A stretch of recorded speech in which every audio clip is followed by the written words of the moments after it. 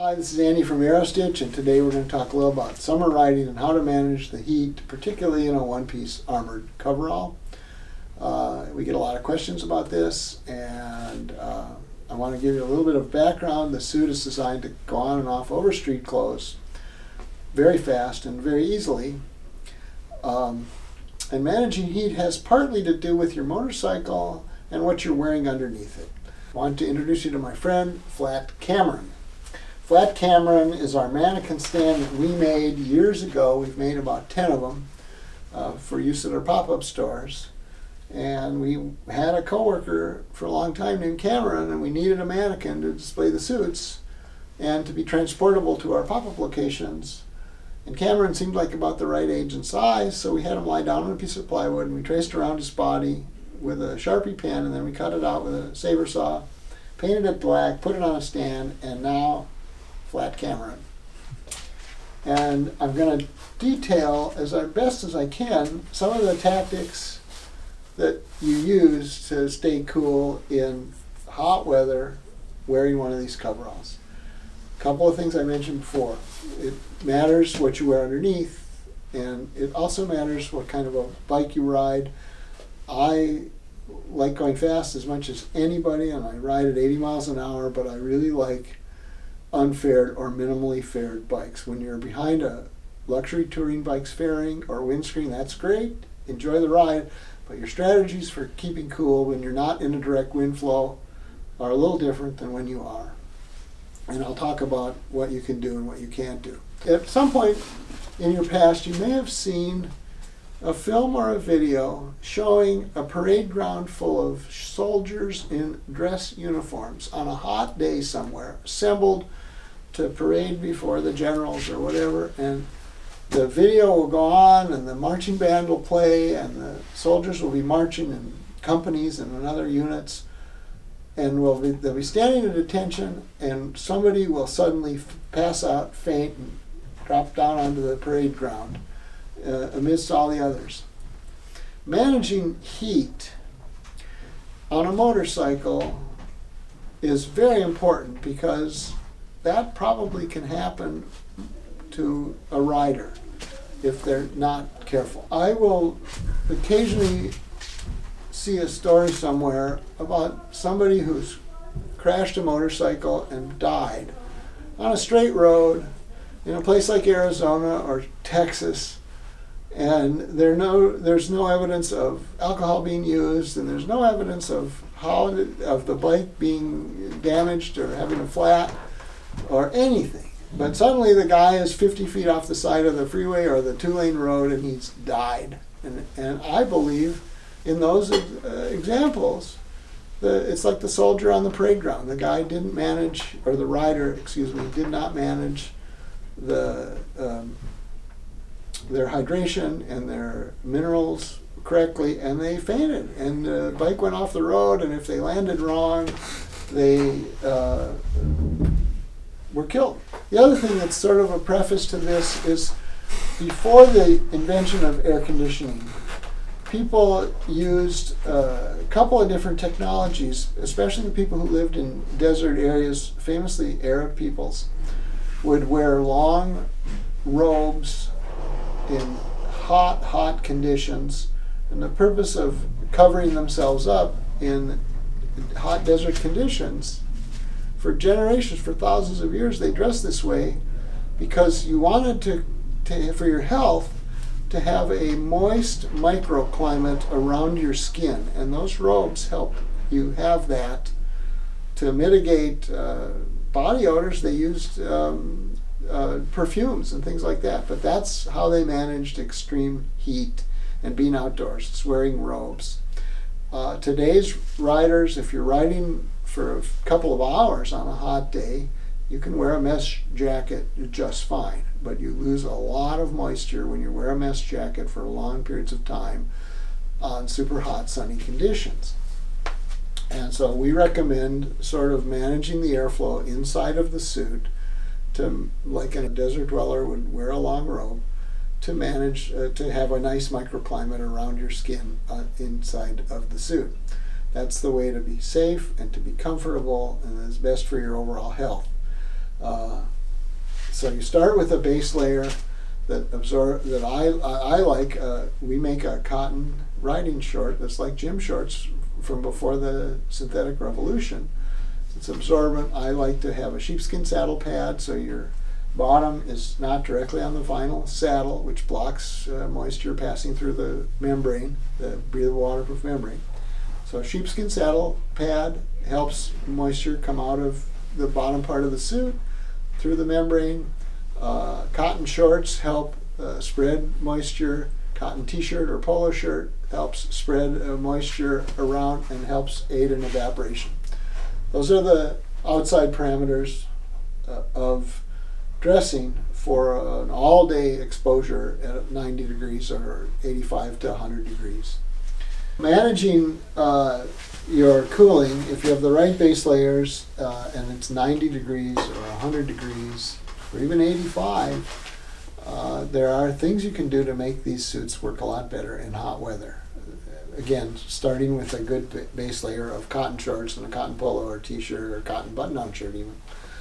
Um, you can manage the airflow inside of the suits. You can use a wetted shirt or a wetted scarf around your neck. I'll talk about that in a minute. Um, or you can put ice in the pockets if you stop at a, a, gas stop and they have a soft drink machine that you press the tab for getting ice. You can fill the pockets with ice, and that's a pretty fun trick if you have the patience for it. I discovered this many, many years ago when we were first developing the suits. Um, there's uh, eight toll road stops northwest of Chicago. And when you go from Minnesota, where I live, to Chicago, as you get past the Wisconsin Illinois state line, the Northwest Toll Road starts, and there's eight toll stops. And I was doing that regularly at that time. And I stopped and I filled the pockets with ice. This was a year or two into the history of the Aerostich company and I found that I, my clothing underneath stayed dry, and the melting ice, the liquefying ice, came out through the stitches and at the bottoms of the zippers in the pockets where I had packed the things, and uh, where the ice had been packed. And um, so I was dry and I was quite cool, and it was 102 or whatever it was that first day, that first time I did it. And I remember pulling into a toll booth where there was five lanes or something it was super noisy, super hot. The woman taking the toll, there's so much ambient noise there. I handed her my dollar or my toll card, I don't even remember what. And she looks at the gas tank of my bike behind the tank bag and around my crotch and on the suit, and there's sort of water just streaming out of the outside of the suit. And she yells to get my attention, Hey, your bike is leaking something thinking that there was a problem. And I yelled back at her, Thanks, I have ice in the pockets. And she sort of rolled her eyes and went, Oh, I wish I was you.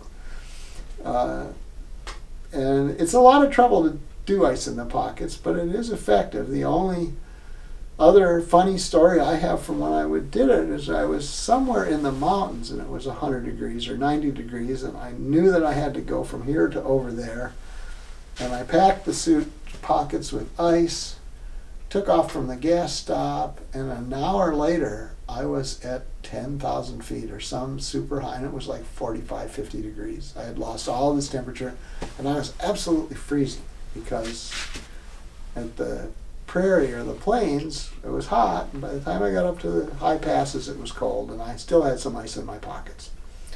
Feeling pretty stupid.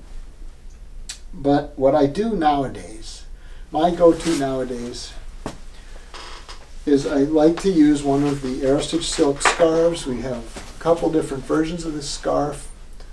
Uh, and, and I will go into the restroom of a gas station or convenience store with it like this put it under the sink faucet and squish it around, fill it with water, kind of halfway wring it out, and I will leave the store with this sort of dripping mass of silk in my hands and go out to the motorcycle. And then I will take it like this. I'm already wearing the suit, and I will put it around my neck wet like this. kind of pull it like this.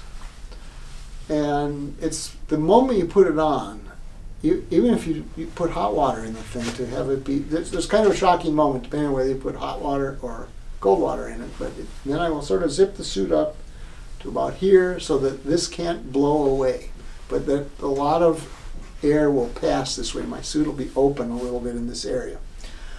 And if the humidity is below about 80%, 70%, the passing airflow as I ride down a road will cause the water to evaporate and be very cold against my skin. On both sides of everyone's neck, there's a big artery called the carotid artery, which carries blood to your brain, or, and there's a similar vein.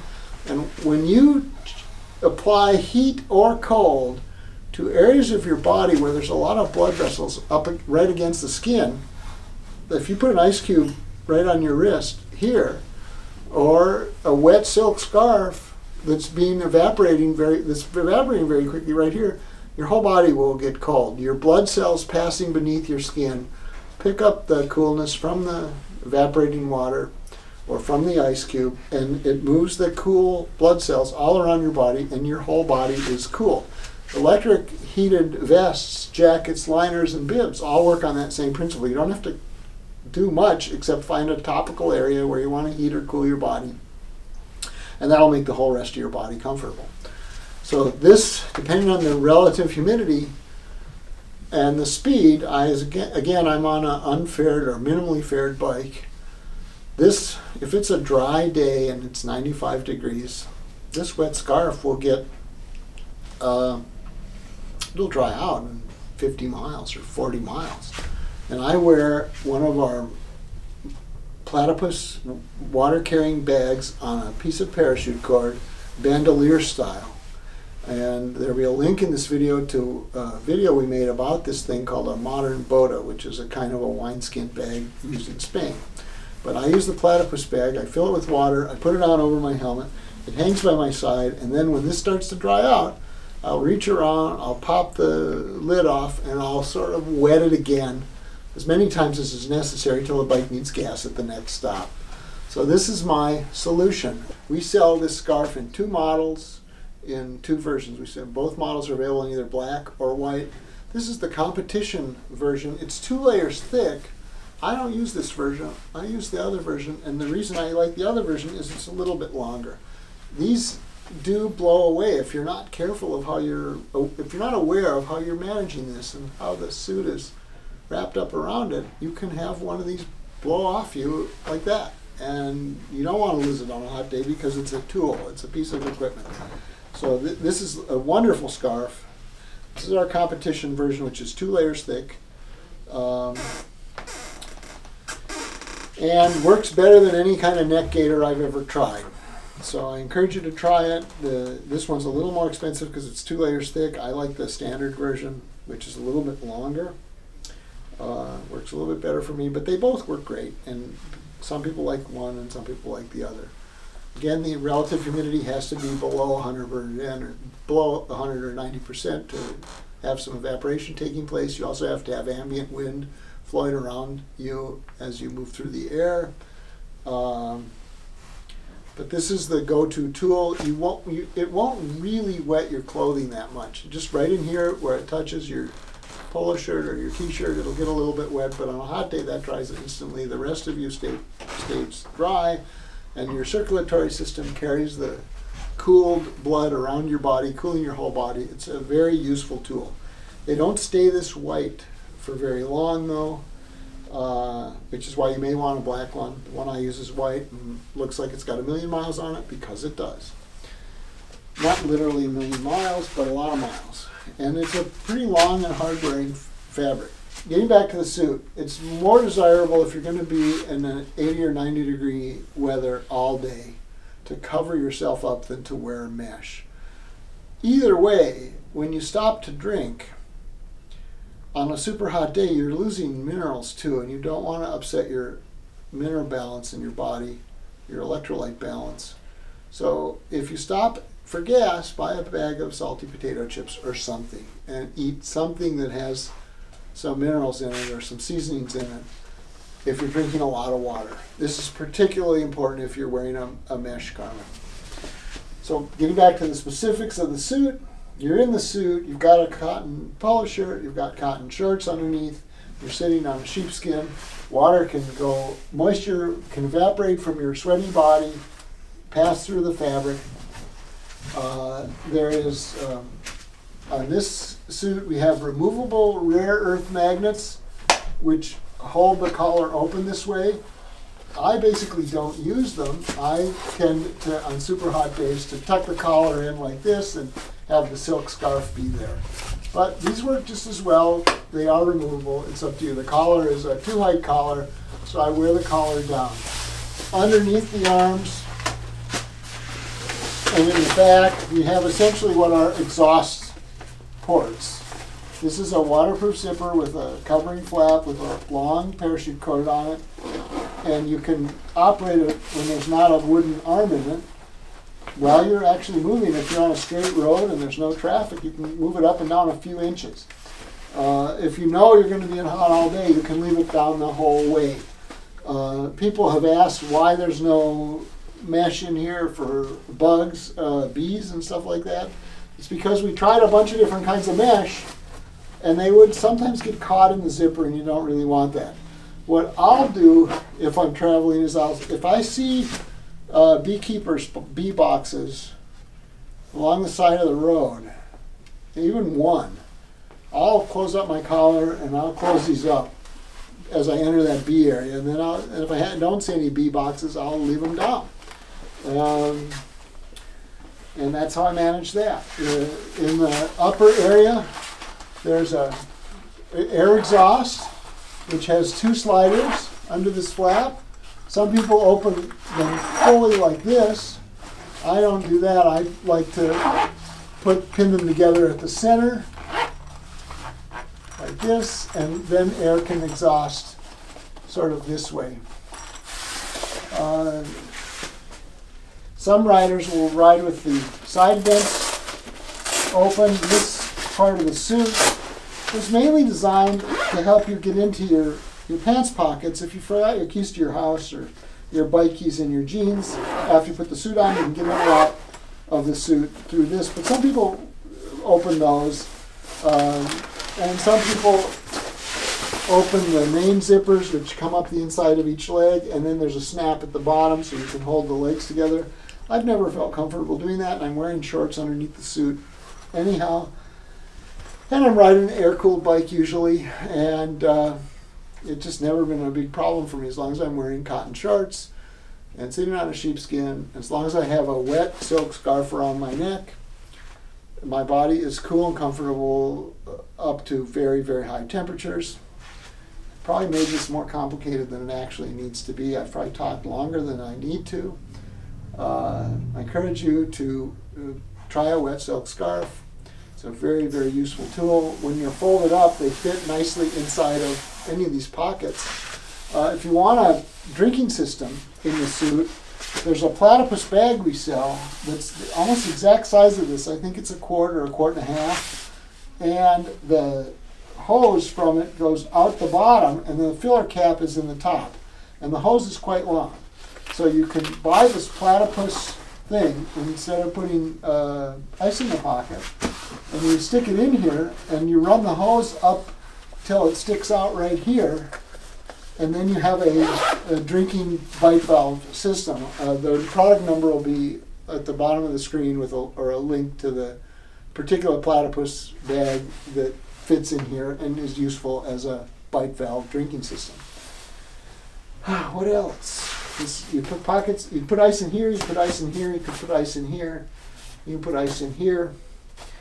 It's a little bit of a pain in the butt to put all that ice in the thing when you can just go into the bathroom of a a convenience store and wet a silk scarf, drape it around your neck once you're out at your bike, and off you go. And within a half a mile, you're feeling cool. Thanks for watching this video about hot weather tactics and heat management wearing one-piece coverall Aerostich suits. I um, hope you found some of the tricks and ideas useful. And if you have uh, time to travel this summer, we have a very nice uh, season here in Duluth for three or four days somewhere in July or August. We hope you get up here and we'd love to show you our factory where all this stuff is made right above us. Uh, thanks for watching and good riding. Thank you, Flat Cameron, for your help.